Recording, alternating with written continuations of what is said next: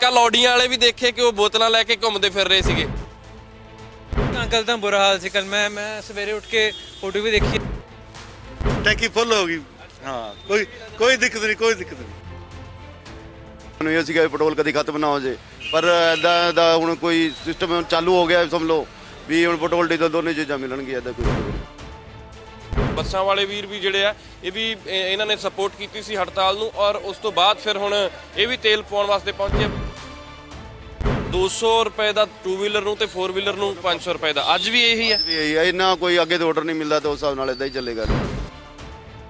ਜ਼ਿਆਦਾਤਰ petrol pump ਤੇ supply normal ਹੋ ਰਹੀ ਆ ਜਿੱਦਾਂ ਆਮ ਦਿਨਾਂ ਦੇ ਵਿੱਚ ਹੁੰਦੀ ਆ। ਚੰਡੀਗੜ੍ਹ ਤੋਂ ਅਸੀਂ ਇਹ ਤਸਵੀਰ ਤੁਹਾਨੂੰ ਦਿਖਾ ਰਹੇ ਹਾਂ ਕਿ ਪੈਟਰੋਲ ਪੰਪਾਂ ਤੇ ਬੀਤੀ ਰਾਤ ਸਪਲਾਈ ਪਹੁੰਚਣ ਲੱਗੀ ਟਰੱਕ ਯੂਨੀਅਨ ਨੇ ਹੜਤਾਲ ਕੀਤੀ ਸੀ, ਜਿਸ ਤੋਂ ਬਾਅਦ ਬੁਰੇ ਹਾਲ ਹੋਏ ਲੋਕਾਂ ਦੇ। ਪੈਟਰੋਲ ਪੰਪਾਂ ਤੇ ਲੰਬੀਆਂ ਲੰਬੀਆਂ ਲਾਈਨਾਂ ਲੱਗੀਆਂ, ਪਰ ਅੱਜ ਰਾਹਤ ਦੀ ਖਬਰ ਹੈ। ਚੰਡੀਗੜ੍ਹ ਤੋਂ ਅਸੀਂ ਇਹ ਤਸਵੀਰ ਤੁਹਾਨੂੰ ਦਿਖਾ ਰਹੇ ਹਾਂ ਕਿ ਪੈਟਰੋਲ ਪੰਪਾਂ ਤੇ ਬੀਤੀ ਰਾਤ ਸਪਲਾਈ ਪਹੁੰਚਣ ਲੱਗੀ ਕਿਉਂਕਿ ਜਦੋਂ ਕੇਂਦਰ ਸਰਕਾਰ ਦੇ ਨਾਲ ਗੱਲਬਾਤ ਹੋਈ ਯੂਨੀਅਨਸ ਦੀ ਔਰ ਉਸ ਤੋਂ ਬਾਅਦ ਫਿਰ ਉਹਨਾਂ ਨੇ ਕਿਹਾ ਕਿ ਸਮਾਂ ਦਿੱਤਾ ਖਾਸ ਤੌਰ ਤੇ ਸਰਕਾਰ ਨੂੰ ਔਰ ਉਸ ਤੋਂ ਬਾਅਦ ਫਿਰ ਹੁਣ ਸਪਲਾਈ ਪਹੁੰਚਣੀ ਸ਼ੁਰੂ ਹੋ ਗਈ ਸੀ ਬੀਤੀ ਰਾਤ ਔਰ ਉਸ ਤੋਂ ਬਾਅਦ ਪੈਟਰੋਲ ਪੰਪਾਂ ਤੇ ਤੇਲ ਵੀ ਪਹੁੰਚ ਗਿਆ ਹੈ। ਔਰ ਦਿਖਾਉਣੇ ਤਸਵੀਰ ਵੀ ਤੁਹਾਨੂੰ ਕਿ ਪੈਟਰੋਲ ਪੰਪਾਂ ਤੇ ਹੁਣ ਜ਼ਿਆਦਾਤਰ ਪੈਟਰੋਲ ਪੰਪ ਜਿਹੜੇ ਨੇ ਤੜਕੇ ਤੋਂ ਹੀ ਲੋਕ ਹਾਲਾਂਕਿ ਪਹੁੰਚਣੇ ਸ਼ੁਰੂ ਹੋ ਗਏ ਸੀ।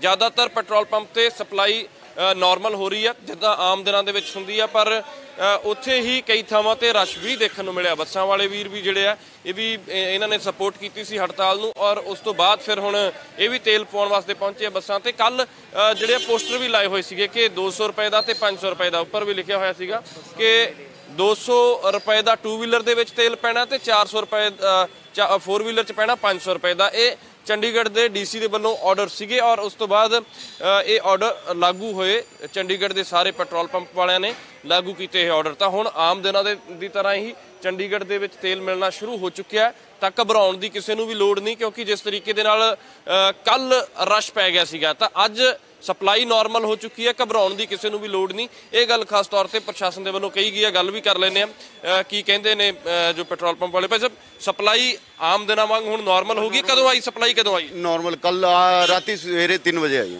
ਤੜਕੇ 3 ਵਜੇ 3 ਵਜੇ ਆਈ ਹੁਣ ਪੈਟਰੋਲ ਡੀਜ਼ਲ ਸਫੀਸ਼ੀਐਂਟ ਹੈ ਤੁਹਾਡੇ? ਦੋਨੋਂ ਹੈਗੇ ਜਿੰਨਾ ਆਮ ਦਿਨਾਂ ਦੇ ਵਿੱਚ ਹੁੰਦਾ ਆਨ ਹੈਗਾ। ਕੱਲ ਕਿੰਨੀ ਕਿਸ ਤਰੀਕੇ ਨਾਲ ਸੇਲ ਇੰਨੀ अर्ਲੀ ਮਾਰਨਿੰਗ ਹੀ ਲੋਕ ਪਹੁੰਚਣ ਲੱਗੇ ਸੀਗੇ ਕਿ ਸਪਲਾਈ ਬੰਦ ਹੋ ਜਾਣੀ? ਦੇ ਵਜ੍ਹਾ ਦੇ ਨਾਲ ਜਿੰਨੇ ਵੀ ਹੈ ਤਕਰੀਬਨ ਲੋਕੀ ਲਾਈਨਾਂ ਲੱਗੀ ਹੋਈ ਸੀਗੀ ਤਕਰੀਬਨ ਵੀ ਉਹਨਾਂ ਨੂੰ ਇਹ ਸੀਗਾ ਵੀ ਪੈਟਰੋਲ ਕਦੀ ਖਤਮ ਨਾ ਹੋ ਜੇ। ਪਰ ਐਦਾਂ ਦਾ ਹੁਣ ਕੋਈ ਸਿਸਟਮ ਚਾਲੂ ਹੋ ਗਿਆ ਸਮਝ ਲਓ ਵੀ ਹੁਣ ਪੈਟਰੋਲ ਡੀਜ਼ਲ ਦੋਨੇ ਚੀਜ਼ਾਂ ਮਿਲਣਗੀਆਂ ਐਦਾਂ ਕੋਈ ਦਿੱਕਤ ਨਹੀਂ। ਆ 200 ਰੁਪਏ ਦਾ 2 ਵੀਲਰ ਨੂੰ ਤੇ 4 ਵੀਲਰ ਨੂੰ 500 ਰੁਪਏ ਦਾ। ਅੱਜ ਵੀ ਇਹੀ ਹੈ? ਵੀ ਇਹੀ ਹੈ ਇੰਨਾ ਕੋਈ ਅੱਗੇ ਤੋਂ ਆਰਡਰ ਨਹੀਂ ਮਿਲਦਾ ਤਾਂ ਉਸ ਹਿਸਾਬ ਨਾਲ ਇਦਾਂ ਹੀ ਚੱਲੇਗਾ ਲਈ ਤੋਂ। ਤੱਕ ਇਸੇ ਤਰੀਕੇ ਨਾਲ ਤਾਂ ਕਿ ਕੋਈ ਹੜਤਾਲ ਦਾ ਹੋਰ ਅਸਰ ਨਾ ਦੇਖਣ ਨੂੰ। ਹੋਰ ਅਸਰ ਦੇਖਣੇ ਨੂੰ ਨਾ। ਮਿਲੇ ਸਵੇਰੇ ਸਵੇਰੇ ਵੀ ਕੋਈ ਦੇਖਣ ਨੂੰ ਮਿਲਿਆ ਇਦਾਂ ਦਾ ਜਾਂ ਆਮ ਤਾਂ ਹੀ ਰਸ਼ ਹੈਗੇ ਤਕਰੀਬਨ ਹੀ ਸੀਗਾ ਰਸ਼। ਬਾਹਰ ਤੱਕ ਜਿੱਦਾਂ ਹੁਣ ਪੰਪ ਤੇ ਬਾਹਰ ਤੱਕ ਹੈਗਾ ਉਦਾਂ ਹੀ ਰਸ਼ ਸੀਗਾ ਸਵੇਰੇ ਵੀ 6 ਵਜੇ ਕੇ ਬਾਅਦ। ਪਰ ਹੁਣ ਨਾਰਮਲ ਹੋ ਚੁੱਕੀ ਹੈ ਸਪਲਾਈ ਸਵੇਰੇ ਜ਼ਰੂਰ ਕਹਿੰਦੇ ਕਿ ਰਸ਼ ਦੇਖਣ ਨੂੰ ਮਿਲਿਆ ਪਰ ਬੱਸਾਂ ਵਾਲੇ ਵੀ ਤੇਲ ਪਵਾ ਰਹੇ ਆ ਔਰ ਆਮ ਦਿਨਾਂ ਦੀ ਤਰ੍ਹਾਂ ਹੀ ਗੱਡੀਆਂ ਵਾਲੇ ਜਿੰਨਾ ਕਿ ਰਸ਼ ਹੁੰਦਾ ਕਹਿੰਦੇ ਇੰਨਾ ਕਿ ਰਸ਼ ਹੈਗਾ। ਹਾਲਾਂਕਿ ਬਾਹਰ ਤੱਕ ਲਾਈਨ ਲੱਗੀ ਹੋਈ ਆ ਪਰ ਇੰਨਾ ਕਿ ਰਸ਼ ਤਾਂ ਚੰਡੀਗੜ੍ਹ ਦੇ ਵਿੱਚ ਆਮ ਦਿਨਾਂ ਦੇ ਵਿੱਚ ਵੀ ਹੁੰਦਾ ਤਾਂ ਕੱਲ ਜ਼ਰੂਰ ਭਗਦੜ ਮਚੀ ਹੋਈ ਸੀਗੀ। ਲੋਕਾਂ ਨੂੰ ਜ਼ਰੂਰ ਇਹ ਸੀਗਾ ਕਿ ਪਤਾ ਨਹੀਂ ਤੇਲ ਮਿਲਣਾ ਕਿ ਨਹੀਂ। ਸਰਦਾਰ ਸਾਹਿਬ ਨੇ ਤੇਲ ਪਵਾ ਪਵਾ ਲਿਆ ਜੀ ਤੇਲ ਤੁਸੀਂ?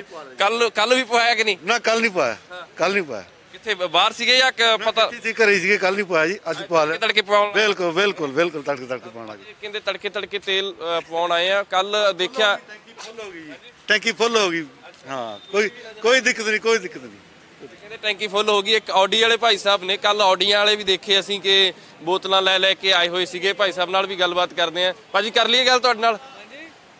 ਗੱਡੀ ਤੇ ਤੜਕੇ ਤੜਕੇ ਆ ਗਏ ਹੋ ਤੇਲ ਭਰਾਉਣ ਵਾਸਤੇ। ਕੱਲ ਆਡੀਆਂ ਵਾਲੇ ਵੀ ਦੇਖੇ ਕਿ ਉਹ ਬੋਤਲਾਂ ਲੈ ਕੇ ਘੁੰਮਦੇ ਫਿਰ ਰਹੇ ਸੀਗੇ। ਨਹੀਂ ਨਹੀਂ ਇੰਨੀ ਵੀ ਨਹੀਂ ਹੈਗੀ ਮੈਂ ਇਦਾਂ ਹੀ ਆ ਗਿਆ ਇਦਾਂ ਦੀ ਕੋਈ ਗੱਲ ਨਹੀਂ ਲੱਗੀ ਮੈਨੂੰ ਤਾਂ। ਕੱਲ ਦੀ ਸਿਚੁਏਸ਼ਨ ਜਿਹੜੀ ਸੀ ਉਹ ਵਾਕਈ ਵਸਟ ਵਸਟ ਸੀਗੀ। ਤਾਂ ਅੰਕਲ ਤਾਂ ਬੁਰਾ ਹਾਲ ਸੀ ਕੱਲ ਮੈਂ ਮੈਂ ਸਵੇਰੇ ਉੱਠ ਕੇ ਫੋਟੋ ਵੀ ਦੇਖੀ ਅਖਬਾਰ 'ਚ ਕਾਫੀ ਮਤਲਬ ਕਾਫੀ ਲੰਬੀ ਲਾਈਨ ਲੱਗੀ ਹੋਈ ਸੀ ਇਧਰੋਂ ਹੀ।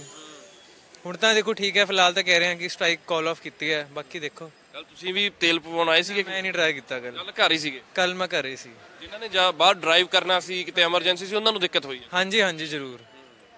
ਇਹ ਭਾਈ ਸਾਹਿਬ ਹੁਣੀ ਆਏ ਆ ਤੇਲ ਪਾਉਣ ਵਾਸਤੇ ਔਰ ਕਹਿੰਦੇ ਕਿ ਅਸੀਂ ਤਾਂ ਕੱਲ ਘਰ ਹੀ ਸੀਗੇ ਤਾਂ ਬਈ ਹੁਣਾਂ ਨਾਲ ਤਾਂ ਗੱਲ ਕੀਤੀ ਹੈ ਕਿਉਂਕਿ ਕੱਲ ਅਸੀਂ ਜੋ ਕੁਝ ਇੱਕ ਤਸਵੀਰਾਂ ਰਿਕਾਰਡ ਕੀਤੀਆਂ, ਉਹਨਾਂ ਦੇ ਵਿੱਚ ਇਹ ਸੀਗਾ ਕਿ ਕਿਸੇ ਕੋਲੇ ਆਡੀ ਸੀ, ਕਿਸੇ ਕੋਲ ਮਰਸੀਡੀਜ਼ ਸੀਗੀ, ਪਰ ਗੱਡੀਆਂ ਚੱਲਣੀਆਂ ਤਾਂ ਤੇਲ ਨਾਲ ਹੀ ਨੇ, ਜੇ ਤੇਲ ਹੀ ਨਹੀਂ ਹੋਊਗਾ ਤਾਂ ਕੀ ਕਰਨਗੀਆਂ ਗੱਡੀਆਂ, ਤਾਂ ਉਹ ਕਿਸੇ ਦੀ ਗੱਡੀ ਰਾਹ 'ਚ ਬੰਦ ਹੋ ਗਈ, ਉਹ ਵਿਚਾਰੇ ਆਏ ਹੋਏ ਸੀ, ਹੱਥ ਦੇ ਵਿੱਚ ਕੈਨੀਆਂ ਲਈਆਂ ਹੋਈਆਂ ਸੀਗੀਆਂ, ਪਰ ਅੱਜ ਸਪਲਾਈ ਨਾਰਮਲ ਹੋ ਚੁੱਕੀ ਹੈ ਔਰ ਬੱਸਾਂ ਵਾਲਿਆਂ ਨੇ ਵੀ ਜਿਹੜੀ ਹੈ ਤੇਲ ਪਾਉਣਾ ਇੱਥੇ ਸ਼ੁਰੂ ਕਰ ਦਿੱਤਾ। ਇਸ ਤੋਂ ਬਾਅਦ ਬੱਸਾਂ ਵਾਲਿਆਂ ਨਾਲ ਵੀ ਕਰਾਂਗੇ ਗੱਲਬਾਤ, ਪਰ ਦੱਸ ਦਈਏ ਤੁਹਾਨੂੰ ਅਪਡੇਟ ਕਿ ਹੁਣ ਸਪਲਾਈ ਨਾਰਮਲ ਹੋ ਚੁੱਕੀ ਹੈ, ਜਿਵੇਂ ਆਮ ਦਿਨਾਂ ਦੇ ਵਿੱਚ ਸਪਲਾਈ ਹੁੰਦੀ ਹੈ, ਠੀਕ ਉਸੇ ਤਰੀਕੇ ਦੇ ਨਾਲ ਪੈਟਰੋਲ ਪੰਪਾਂ ਤੇ ਪੈਟਰੋਲ ਪਹੁੰਚਣਾ ਸ਼ੁਰੂ ਹੋ ਗਿਆ। ਕੈਮਰਾ ਪਰਸਨ ਦਵਿੰਦਰ ਦੇ ਨਾਲ ਵਿਕਰਮ ਸਿੰਘ, ਪ੍ਰੋ ਪੰਜਾਬ ਟੀਵੀ, ਚੰਡੀਗੜ੍ਹ।